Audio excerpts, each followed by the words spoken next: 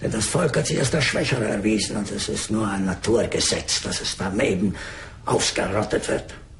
Es ist Ihr Volk. Sie sind der Führer. Was nach diesem Kampf übrig bleibt, sind ohnehin nur die Minderwertigen, denn die Guten sind gefallen.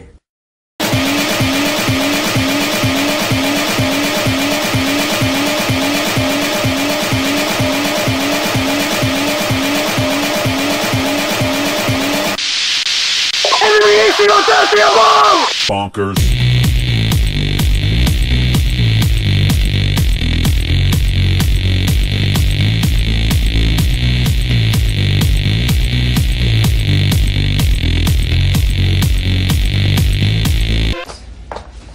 Wir müssen einfach abwarten. Aber der Chef glaubt doch selber nicht mehr dran. Was ist denn, wenn er sich umbringt? Was ist denn da mit uns?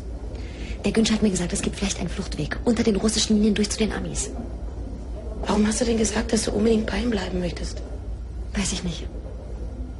Ehrlich.